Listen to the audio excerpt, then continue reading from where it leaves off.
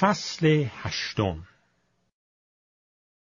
پس دیگر برای کسانی که در اتحاد با مسیح عیسی به سر می‌برند هیچ محکومیتی وجود ندارد.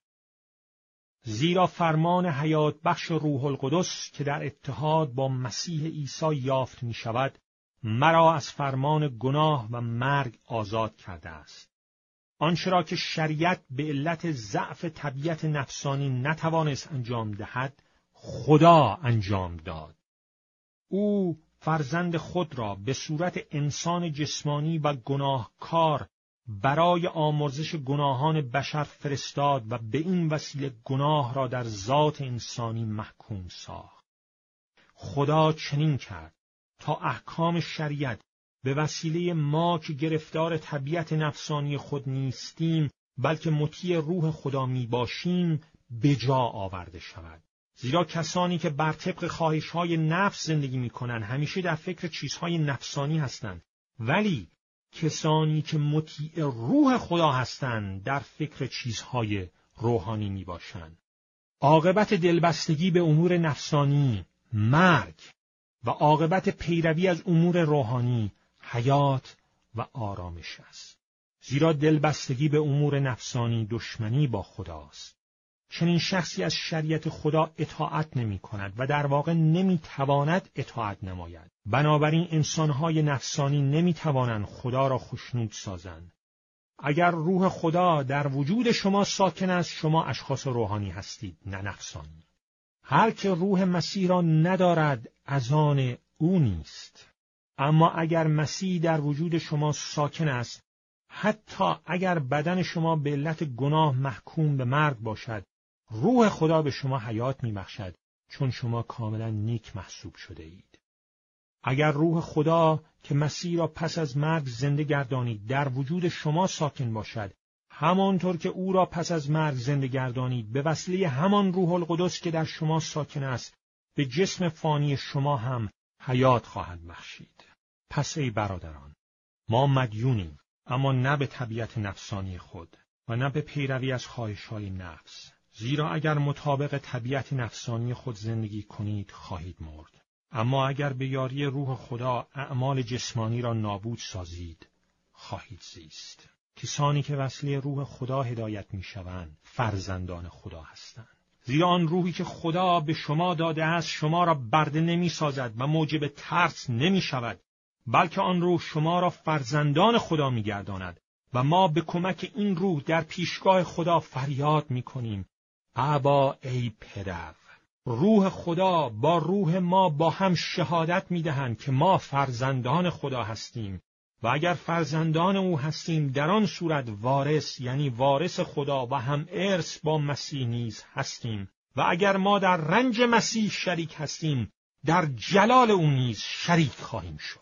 به عقیده من درد و رنج کنونی ما ابدا با جلالی که در آینده برای ما ظاهر می شود قابل مقایسه نیست. تمامی خلقت با اشتیاق فراوان در انتظار ظهور فرزندان خدا به سر می‌برند زیرا خلقت نه به اراده خود بلکه به خواست خدا دچار بیهودگی شد. تا این امید باقی بماند که روزی خود آفرینش از قید فساد آزاد گردد و در آزادی پرشکوه فرزندان خدا سهیم شود. زیرا می‌دانیم که تمامی آفرینش تا زمان حاضر از دردی مانند درد زایمان نالیده است.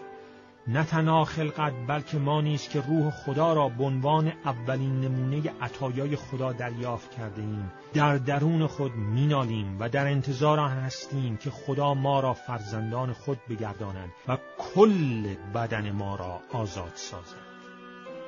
زیرا با چنین امیدی بود که ما نجات یافتیم. اما امیدی که برآورده شده باشد دیگر امید نیست. چه کسی در انتظار چیزی است که قبلا آن را یافته است؟ اما اگر در امید چیزی هستیم که هنوز نیافته ایم با صبر منتظر آن می‌شویم به همین طریق روح خدا در این ضعف و ناتوانی ما را یاری می‌کند. زیرا ما هنوز نمی‌دانیم چگونه باید دعا کنیم. اما خود روح خدا با ناله هایی که نمی‌توان بیان کرد برای ما شفاعت می کند و آنکه قلبهای انسان را جستجو می کند از نیت روح آگاه است چون روح القدس مطابق خواست خدا برای مقدسین شفاعت می کند ما می‌دانیم همه چیز برای خیریت آنانی که خدا را دوست دارند و به حسب اراده او خوانده شدند با هم در کارند. زیرا خدا آنانی را که از ابتدا می شناخت از پیش برگزید تا به شکل پسر او درآیند و تا پسر نخستین برادر در میان برادران بسیار باشد. او کسانی را که قبلا برگزیده بود به سوی خود خوانده است و خوانده شدگان را کاملا نیک محسوب کرد و نیکان را نیز جاه و جلال بخشید. پس در برابر این چیزها چه بگوییم؟ اگر خدا پشتیبان ماست کیست که به ضد ما باشد آیا خدایی که پسر خود را دریق نداشت بلکه او را در راه همه ما تسلیم کرد با بخشیدن او همه چیز را با سخاوتمندی به ما نمی بخشد؟ کی برگزیدگان خدا را متهم خواهد کرد؟ خدا آنان را تبرئه می نماید پس کیست که بتواند آنان را محکوم سازد؟ مسیح عیسی کسی است که مرد و حتی دوباره زنده شد و اکنون در دست راست خدا از ما شفاعت می کند پس کی می تواند ما را از محبت مسیح جدا سازد؟ آیا مصیبت یا نگرانی یا زج یا گرسنگی یا دستی یا خطر و یا شمشیر قادر است ما را از مسیح جدا سازد؟ چنانکه کتاب مقدس می‌فرماید به خاطر تو در تمام روز در خطر مرگ هستیم و با ما مانند گوسفندانی که به کشتارگاه می‌روند رفتار می شود. با وجود همه این چیزها به وسیله او که ما را دوست داشت پیروزی ما کامل می شود.